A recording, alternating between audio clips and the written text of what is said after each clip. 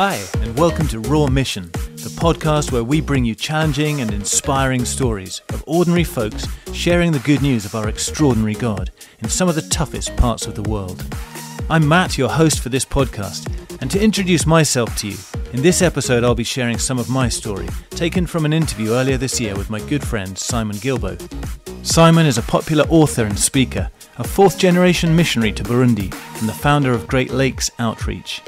He hosts a podcast called Inspired and has kindly given us permission to use the episode where he interviewed me. We discuss earthquakes, terrorism, and gospel opportunities from the years I spent living and serving in Pakistan. Welcome, everybody. This is Simon Guillebaud with Inspired. It's great to be back for another week with another fantastic guest. We're not going to give his full name because of some of the work he's involved in, which you'll come to understand, but his name is Matt from Frontiers.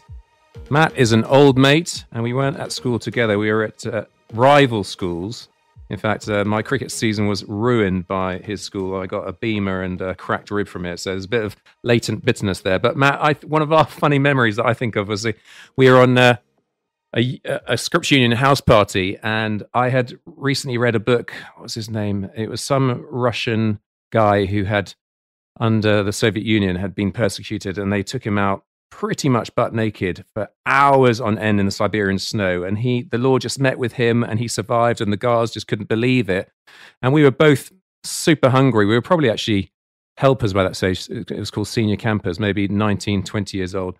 And we really wanted to go out and express that same kind of hunger before God and experience that. And it was Easter. It wasn't even Christmas time. So it was cold, but it, well, it was obviously cold because uh, we said we're going to stay out as long as possible and pray for the gift of tongues. And so we were out there praying, Lord, come on, Lord, we're hungry for you, more of you. Come on, Holy Spirit, touch us. And we lasted about 40 minutes and we were so cold that we came back with our tails between our legs and it, it didn't happen then did it? But anyway the lord has met with us power, powerfully subsequently. Anyway matt that's enough of me. Uh, welcome bro. It's great to have you. Why don't you just give a, a bit of context from your background? Yeah hi simon. It's a it's a real privilege to be with you simon. Uh, thanks for having me on. Um, yeah i didn't grow up in a family like yours where if i'm if i remember rightly simon you know you've got parents and grandparents who love the lord and love serving god in the nations. My family background was a bit different just very nominal christian home. So no one really followed jesus at all. And it was only actually uh, when my my brother came to faith at school and then myself at about 16 years old and then my younger brother came to faith as well at school and then my mum and dad a couple of years later came to faith too. So we sort of became a christian family in a Christian home, uh, which is awesome. I just thank God for that. He loves families, doesn't he?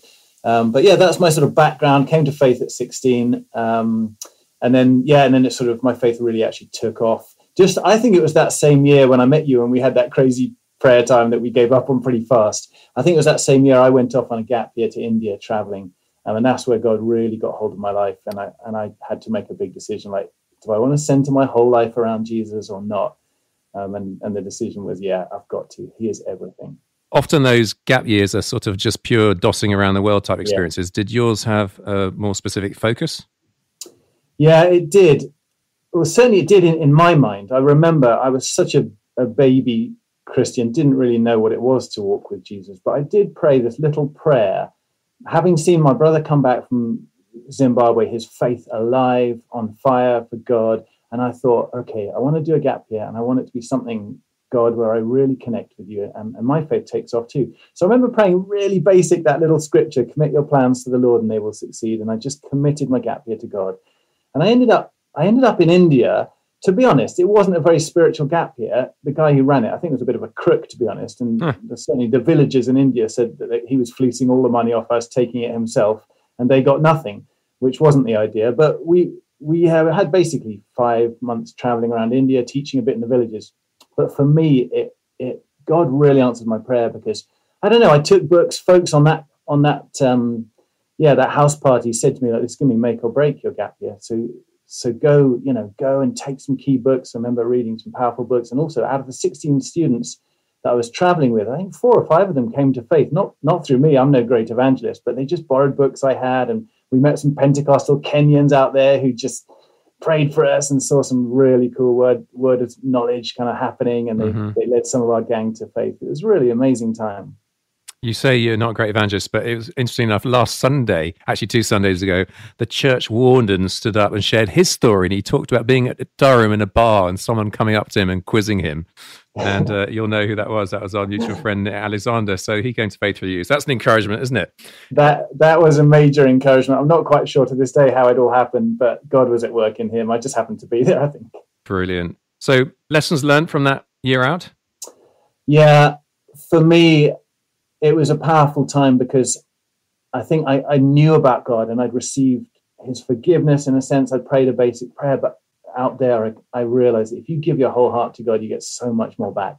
And you know what it's like too. When you get away from that kind of lifestyle, if you've been caught up in a not very healthy lifestyle, as I was as a typical teenager in the UK, that break made a big difference for me to kind of obviously I was changing friendship groups anyway, going up to university, but just giving myself to the Lord out there, made a huge difference, but also opened my eyes. Traveling in India, India's crazy, isn't it? It's, mm. it's, an assault on the senses in every way. You've got, you know, Hindu temples in front of you, you've got sights and smells and sounds and beggars and people pulling you, and crazy stuff happens. And it's a really good time to just think, what is life about? Yeah, just let me tell you this funny story because my wife, you probably don't know this, Lizzie, she was born in India and uh, her parents met out there on the mission field and this is a tribute to my father in law, David. I'm sure you're listening, because David went out there as this high Anglican, whatever they were, whichever society. And, and he met his future wife at uh, language school, and she courted him through Romans because he went out there essentially to do good works, didn't have any sort of saving faith.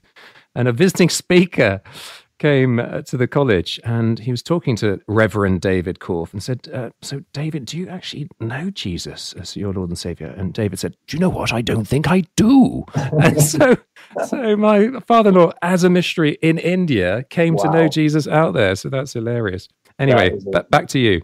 Yeah, I mean, it was a hugely formative year for me, not just feeling like God showed up in a number of ways in my own life and seeing the miraculous a little bit, um, but also uh, that's where my love of South Asia started, and people from South Asia, just so many. You know, if you're in India, you see the millions and millions mm. of people, crowds and crowds, and mega cities and slums and everything. And if you can't catch a heart for people, to be honest, I'm not super compassionate. I'm not one of these like inspiring guys who just has this deep compassion for people. That, but you know, if you're not going to be touched at all by by the lost and the and the, the lostness of the crowds, and let alone the poverty in a place like India, then then we got issues. And I remember I remember even praying, Lord, yeah, just open my heart, give me that kind of fountain of tears in my heart, as mm. Jeremiah prays, because I need that. That's not my natural gift. I'm like my wife, who's super compassionate, but I did develop a love for South Asia and and just the craziness and the, even the adventure. Some really, you know, some really kind of carnal things. I just love the craziness, the travel, the adventure, yeah. and all of that. And I think God started weaving that into my story um, and you know, and as you'll see, it sort of developed into spending, I suppose, nearly a decade of my life out there in South yeah. Asia. Yeah, I think we're wired very similarly, actually, and also my year similarly before going to university was absolutely critical in the shaping of me. So maybe that's a big recommendation to those listening with uh, up and coming teens, just planning it. I mean, to me, it was absolutely defining, as it sounds like it was to you. So anyway, you come back, you go to Durham University, and then what mm. happens? Yeah, very early on, I remember uh, being at a, kind of church gathering. I think it was a student gathering actually, and listening to the speaker talk about the needs of the world and the unreached peoples. And I remember the stats at that time. I think he said two percent of all Christian missionaries are working in what they call the 1040 window, sometimes called today 1040 window as well. It's um, basically it's from northern Africa and the far west all the way across through the Middle East, Central Asia into Western Asia. And that's where most of the world's poor are, most of the world's unreached peoples, where the gospel hasn't really taken root, uh, where there are no churches quite often, where the gospel isn't known about. And, and it really struck me what? This is a third of the world's population, and we're only sending 2% of our missionaries there. This makes no sense mm. at hmm. all. And I just had one of those moments where I just you know, that I think he was speaking on Isaiah 6, and it was that, who will go for me? Whom shall I send? Yes. Call. And it struck me deep in my heart, and I just responded, Here I am, Lord, send me, like Isaiah. And I remember, similar to your story, some, you know, I don't care how difficult it is, how dangerous it is, I just go. I'm so in love with Jesus right now. I feel so forgiven as a new Christian. Mm. I just have to share this with the world. Also, I didn't really have a place. I came from in England. My dad was in the army, so we moved and moved and moved. So I don't know where my home is, you know, in England at that point. So I just said, yeah, Lord, send me wherever. I'm, I'm up for this. And so he took you to Albania and Morocco. Yeah, did some short-term trips, testing the water, which I think is always a, really good idea. You know, you might not be very effective on a short-term trip, but it's a great time to to test a calling. And for me, that was huge. Yeah, um, crazy time in Albania, just when communism had fallen. There were about three shops open in the capital city, and yeah, that was more sort of evangelism on the streets and, and lots of people responding. But then, of course, Morocco, very different. We were told no, no public evangelism here. We're going to learn about Islam and Muslims and pray, pray, pray for the country. And actually, the shock of that was on the first night we were on camping on the beach. We'd driven all the way from England down to Morocco in a minibus mm. with a hmm. bunch of students. It was great fun. But on the on the beach on the first night, we were sharing the gospel with Muslims, and they were talking. And I just realized very soon Muslims love to talk about God. Mm. I don't know why we've been ignoring them for centuries. Often with the gospel, they, yeah. they love talking about God. Sure, they're they're set in their cultural ways and religious backgrounds, but they they're in some ways easier to talk to than our average secular British friend. Yeah. One thing that always strikes me, by the way, when I talk to you, Matt, is how much you love Muslims. And, you know, some mm. people listening to this podcast might even have a question about, oh, isn't it even appropriate to share our faith? Mm. You know, isn't that, isn't that invading their space and, and, disrespecting them. But I know that's absolutely not your heart. And I, I loved it. It was uh, Brother Andrew, I think I credit to, to him anyway. Islam is spelled I S L A M. I sincerely love all Muslims. And yes. your your love absolutely shines through for, for them in general. Yes, I mean this is it. You know, Frontiers, who I work for now, they they have a tagline with love and respect, inviting all Muslim peoples to follow Jesus. You know, the the basic level this is what we want to do. We want to show them God's love. We want to be, you know, God's heart and, and hands towards them. And yeah, you know, whether you go back to the story of Jonah in scripture, uh, there are lots and lots of reluctant sort of prophets and who are a bit scared of who they're called to go reach. I, have never felt that, to be honest. Muslims are so friendly, so hospitable. Yeah, of course, there's the one or two percent who, you know, who are a bit more aggressive and antagonistic and so on. But my my overall experience after now two, two, three decades working with Muslims is they're incredibly hungry and beautiful people. Okay, just I know some people say, hang on, you just said one or two percent who are more aggressive. Statistics are higher than that, though, aren't they? Yeah, you might be right. I, I, guess I'm talking anecdotally, the people I've come across. If you look at the stats, the thing is, you might find in certain countries of the world, like Pakistan, where I ended up, you'll have a whole whack of people, maybe 20, 30, 40%, who will feel angry with the West, who will feel upset and think that the Christian West is attacking Islam yeah. and Palestine is a Christian political attack on Islam. Yeah. So there is anger, and therefore there's sympathy with some of the sort of terrorist organizations who hit back at the West. And I can understand some of that. But actually, face to face and anecdotally, you know, most of them are incredibly friendly and hospitable to you as a person. And it's really politicians, politics, and the kind of grand scale thing. That's what they're angry about. Yes, I drove a truck from England to Kenya in 1997. We went through about six Muslim countries, and I have never received such extraordinary hospitality from, I mean, particularly in Syria, actually. Every single place we stopped, by the time we opened the bus door, the truck door, we were invited back to someone's house. It was totally overwhelming and mm. honestly humbling for us from our culture where, you know, we're much more individualistic and frankly selfish. Yeah. So after those short-term exposures in Albania and Morocco, you ended up being focused. Your life very much revolved around Pakistan, didn't it? Yeah, that's right. I think more and more my love for South Asia and my love for Muslims started to combine, and I just couldn't get my eye off Pakistan. You know, it's just a, a country where you've got 200 million Muslims. Most, you know, 97% probably of the country are Muslim, and most of them we estimate about 87% of Muslims around the world have never met a follower of Jesus. So I just thought, you know, this is the place for me. It's just going to connect with my, you know, some people think missionaries are called by God with some kind of voice, which is very, very rare. You know, of the hundreds and hundreds of missionaries I met, very few have ever heard a voice from God. A calling grows in many different ways. But one of my experiences, in a sense, is that God uses the, the desires of your heart. Remember that verse in I think Psalm 37, isn't it? Delight yourself in the Lord, and He'll give you the desires of your heart. It's not that He'll send you to the worst country in the world and the place that you would hate the most. that's not how God operates. He's a God of love, and he he combines, I think, our backgrounds, our experiences, and our even our desires, some of our natural desires. Like I love cricket and I love Pakistan, and those two yeah. connect at some point in my calling. Mm-hmm. So it's a circuitous route getting there. You first of all went into teaching. Interesting enough, I met. I was speaking at an event a couple of years ago, and there are four lads, and I think all of them had been in your at your grammar school where you taught in the youth group, and very much benefited from your discipling. That's kind. I mean, this is what I love about God. There are many days, Simon, where I think, "What on earth have I achieved in life?" I mean, let alone practically, but spiritually too. And you think, what were those years in Pakistan for? And was the fruit long lasting? Was there any fruit? You know, I don't have these kind of major success stories of church planting movements that just were unstoppable. You know, I had a pretty difficult field to work in where we didn't see a lot mm. of hmm. fruit. And whether that's when I taught at grammar school or whether when I was in Pakistan, I think there are times we just doubt ourselves and think, yeah. what was that about? And then you get snippets. So thank you for bringing things like that. Because I'm, yeah, you sometimes see something 10 years later and think, oh, wow, that, that that we did in Pakistan, that's still having an effect. It's still having a knock on effect. And that's, that's something about who God is. Nothing's wasted in his kingdom. I love that. Mm. Yeah. So I was a teacher only so that I could go overseas with a valuable skill that I could use. Because in Muslim countries around the world, you know, very few people can go as a missionary, be an evangelist or a church planter. So usually we go with a skill, a business, something, a trade, and then we use that and we join the church planting team and, and we use our, our work for the glory of God. And we and of course then we're we're reaching out as, as best we can with the message of Jesus everywhere we go.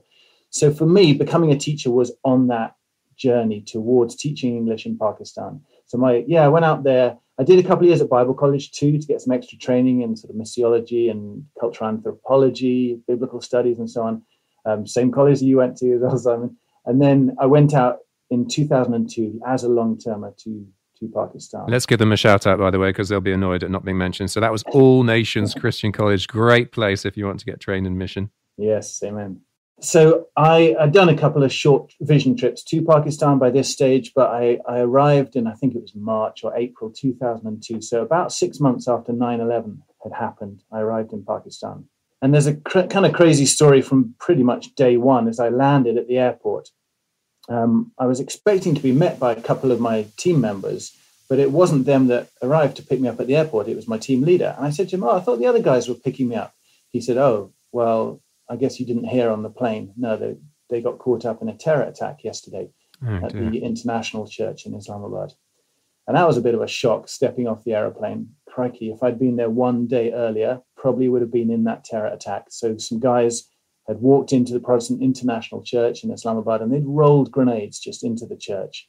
Um, and it was terrible. I mean, you know, five five or six people died that day.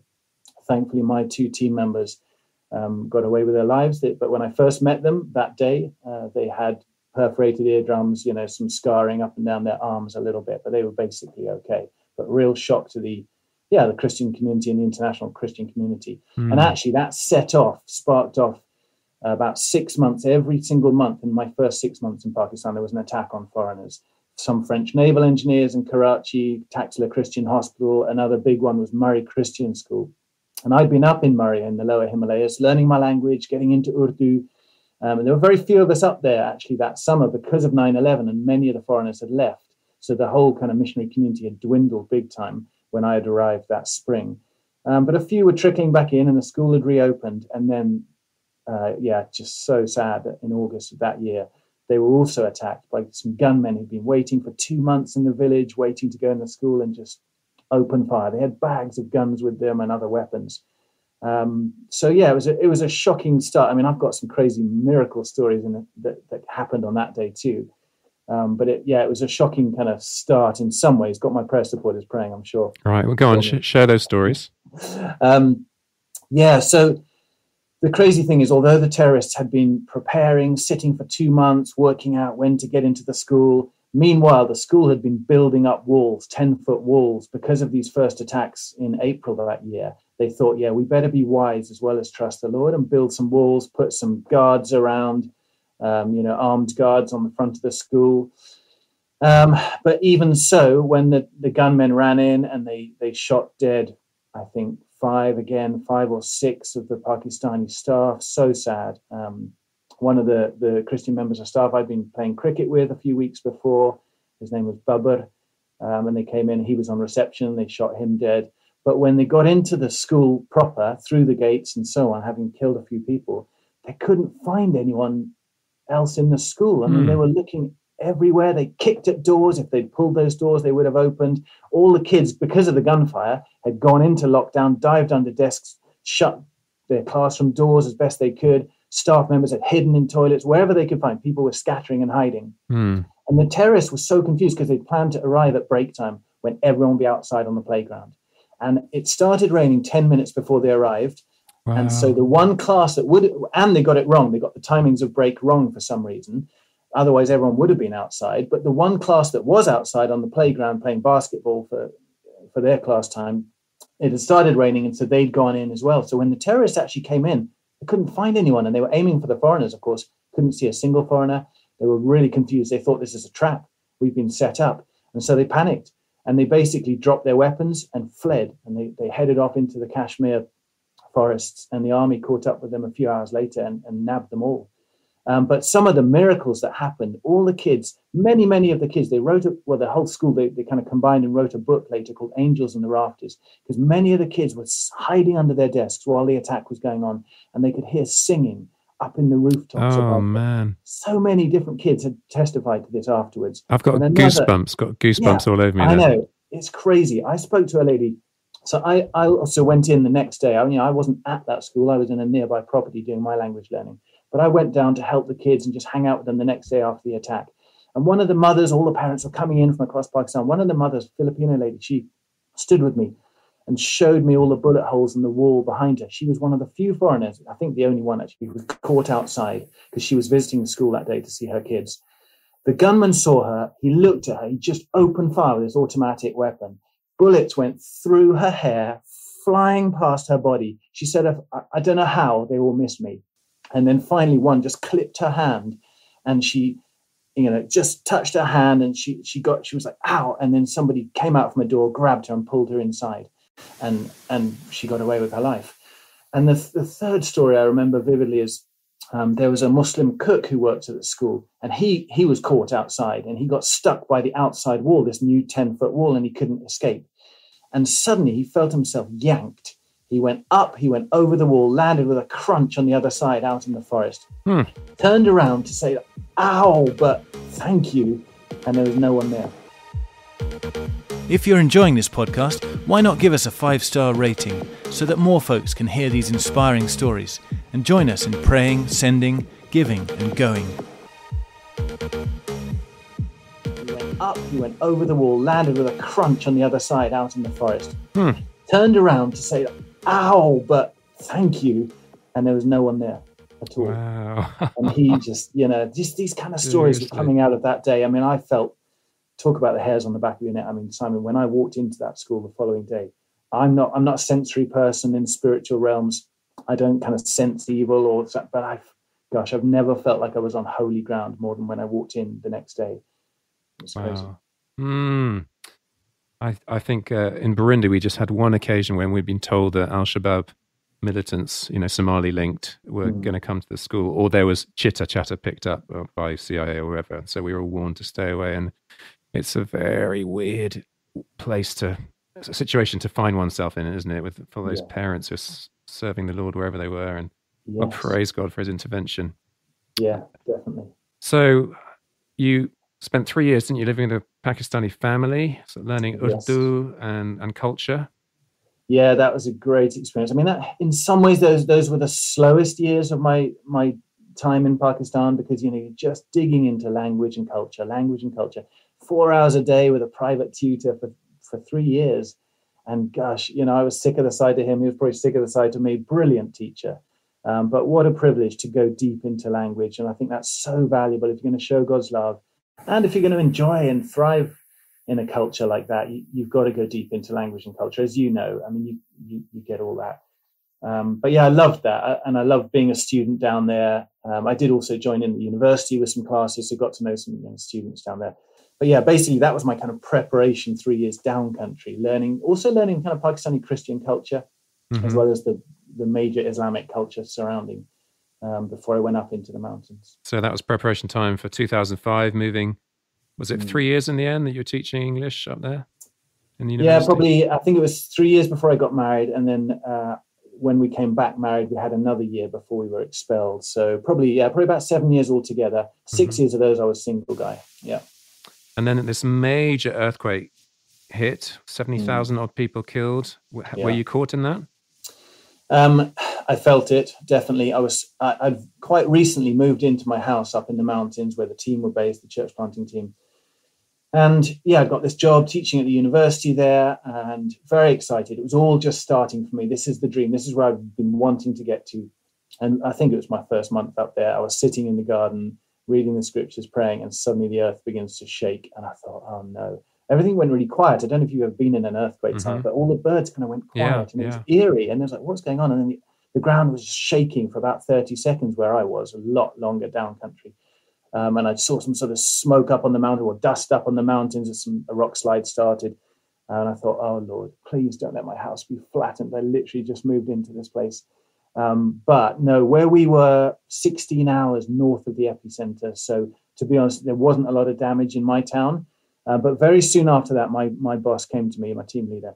He said, Matt, we, we've got to go down. We've got to go down and help with this earthquake relief. I said, but come on, man, we're, we're like a long term community development organization up here, and I've just got this job at the university. Really? We're going to go down country into the Northwest Frontier Province and, and work in earthquake relief? That's not really our expertise. And he said, come on, Matt, we've been praying for those areas where, you know, these sort of AK-47 wielding parts of Pakistan in the northwest frontier where there are no workers, no gospel outreach, no chance for people to hear about Jesus. He said, you know, we've been praying for those areas for years as we drive through there on the way up here to the mountains.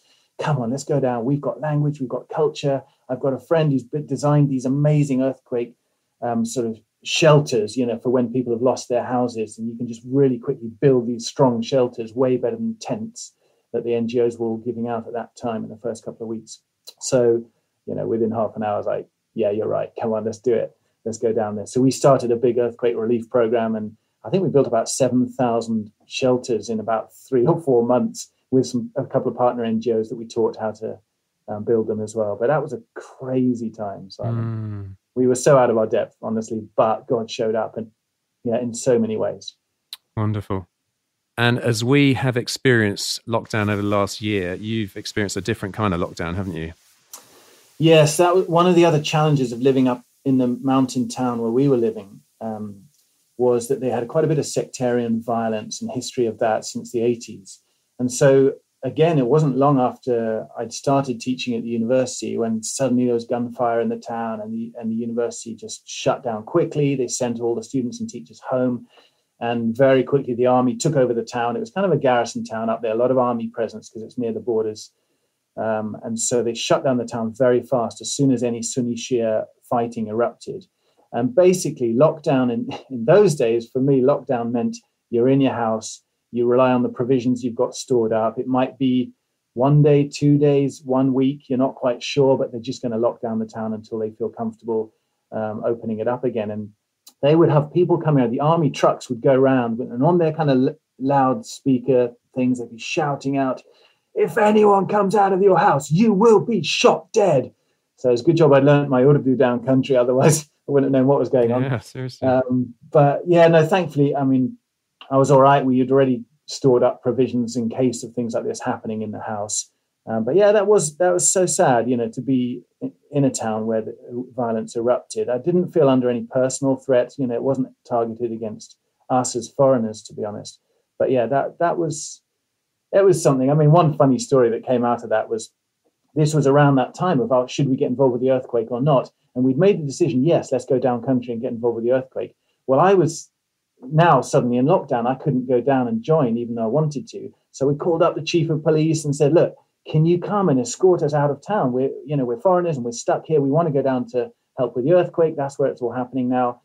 Um, and of course, you get the kind of kind of answer, yes, yes, no problem. You know, we'll come get you.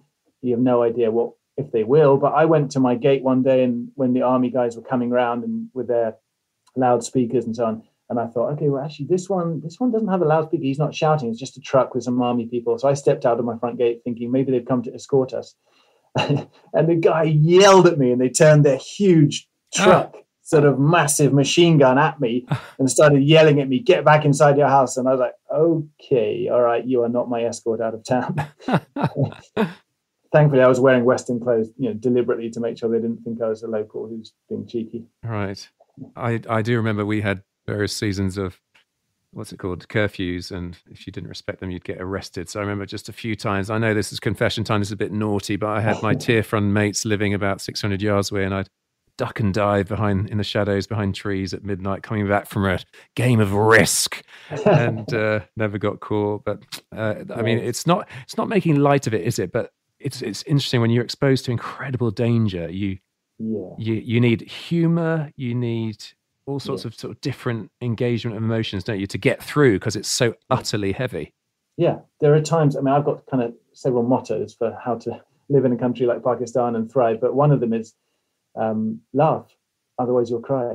Yeah, and obviously, in in the midst of there, there are times when you need to cry and it's appropriate to cry, but there are times when, especially in hindsight, you can look back and, and laugh at mm. some aspects of it. Yeah. So thus far, you've just been single, Matt, but eventually you found some lady crazy enough to join up with you. Yeah, absolutely. Gosh, I mean, Jess, what a blessing. She's the greatest gift God's given to me. Just a woman who's so like brave. I mean, she was doing this already. She'd moved out to Indonesia as a single. She's from California. She was in Indonesia. We met in Thailand. We got married in Malaysia by the end of the year because God had spoken so powerfully to me. I'd only be, met, I, I mean, I'd met her what, a few months earlier. We'd only spent three weeks in person together. Wow. So it was a little bit crazy. It was a bit like blind date. and uh, I don't know, you know, we have a lot of arranged marriages out in Pakistan, and like we always tell our friends, yeah, God arranged our marriage, yeah. Um, and we just had to trust Him. We didn't know each other very well, but wow, what a what a cracker! Yeah, she's such a compassionate, brave, sharp, and uh, brilliant person. She's taught me so much. Wonderful. Now, I cannot imagine as a Burundian, I mean, I, have now got citizenship, uh, spent 20 years mm. there. If I was told that I had to leave, if I was kicked out, which now they couldn't because I got passport, they just stick me in prison. But if I, pre getting the passport, had been forced out, kicked out for good, I would have been absolutely gutted. And so I think I can kind of empathize, imagine what you went through when you were kicked out of Pakistan. Talk us through that. Yeah, it's um, it's funny. I don't think about it much, but um, I, I, start choking up when I'm sometimes, you know, asked to talk about it. Um, it's very hard. I mean, you spend years of your life, you know, you're committing into language and culture. You've got this dream. You're going to be there long term and give your life, you know, and the best years of your life for the gospel in a country like that. And yet you're at the mercy of any government or anything else that happens, and you just don't know. And you've got to hold it lightly. And, and unfortunately, having got married, spent a couple of years back in the UK and, and in the USA, we managed to then go again as a family with our three month old baby. We went out to North Pakistan. Um, and Jess was, you know, doing such a good job adjusting to life up in a, a, small town in the mountains with all the usual problems of electricity and water and other things, terrible roads. Um, and I feel like we were just adjusting to that first year of being married up there. And then suddenly just get a letter saying you've got to leave. You've got 10 days to leave. And it's it is it's so frustrating and so gutting. Um yeah i mean you know you don't know what to do about it. You can't really you just pray and say what is this? Is this is this satan? Is this god's sovereign will? Is this like are we not cut out for this? What, what is going on? Should we fight it? Should we go to the law courts? Do we just take it for now and try and get back in later? But yeah super frustrating for sure. Do they give a reason in the end? Um, there were a bunch of sort of things mentioned in the letter, um, which, which were a little bit strange and didn't make a lot of sense. But but to be honest, my best guess is this, um, could, because we we weren't the only ones. By the end of that year, all sorts of people had been expelled from Pakistan, not just Christian workers, missionaries, not just NGO workers, but uh, all sorts of foreigners were kicked out. And and I'm pretty sure the reason is this: there was a CIA guy earlier that year, um, in February that year, called Raymond Davis, and he shot dead a couple of people in broad daylight in, in the city of Lahore. I don't know what happened to him. He just freaked out, jumped off his, jumped out of his car, shot dead these two people following him on a motorbike. A crowd gathered, of course, really angry. A rescue car came from the U.S. embassy, which also killed someone as it sped through the streets to get him So of course, I mean, just you know, there's there's a bit of a story around that and what happened to him. But basically, he was on a business visa. He was not registered CIA with the government. He wasn't working with the Pakistani government. So he was just on a business visa, and they had they came under immense pressure as a government. And I I understand totally why they just swept out a lot of us who are on business visas mm-hmm. working in Pakistan to, to save face, to answer the opposition in government, I suppose. So really frustrating. I feel we just got caught up in international politics, and it was nothing we had done. They knew we we're believers. They they know we love the Lord. It was nothing like that. You know, some of us were quite bold about our faith in a very gentle way, um, but there was nothing that was surprising to them. It's just just really sad. I think we just got caught up in politics. And did people that you were working with think you were just jumping ship and abandoning them?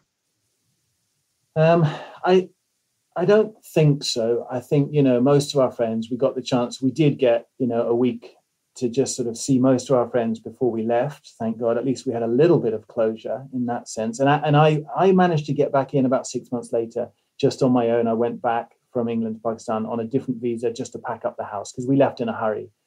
Um, so I was allowed in. I'm not blacklisted in Pakistan, which is great. But we, yeah, I, I mean, our friends understood. We just said, look, this is what happened, and they get it. I mean, these, most of our friends are pretty poor and powerless, and there's nothing they can do when the government say this or say that, or yeah. lockdown happens on their town, and mm. you know they, they get it. They're just at the mercy of higher authorities, and they have no no say. And was this about the time Osama bin Laden was killed? Yeah, ironically, we got our letter from the government. I mean, it was you know backdated, so it's not at all connected. But we happened to receive our letter um, of eviction, basically from the country, expulsion, on the same day Osama bin Laden was assassinated, oh, executed wow. by the American government. And and the funny thing is, Simon, we were down country, so I'd gone down to. We were on a, on a spiritual retreat actually with some other workers, and we got a notification. I was like, no, but you know, we've got it. We had to get back up to the mountains, which is quite an effort, and sometimes can take you days going through the landslides or trying to get a flight that sometimes just turns around again because of the clouds around the mountains. Anyway, we had to get back up north and tell all our friends we're leaving and, and we've got to go. And it just felt like, oh no, they're going to say to us, we've been telling you for years you're CIA, and now you've gone down oh, country. Osama bin Laden's been taken out. You're coming back up, packing, and going home. Ah, oh, come on. So mm. you know, it's it's crazy when people ask you, "Are you CIA?" It's kind of a ridiculous question, but it was really frustrating. Mm. Yeah.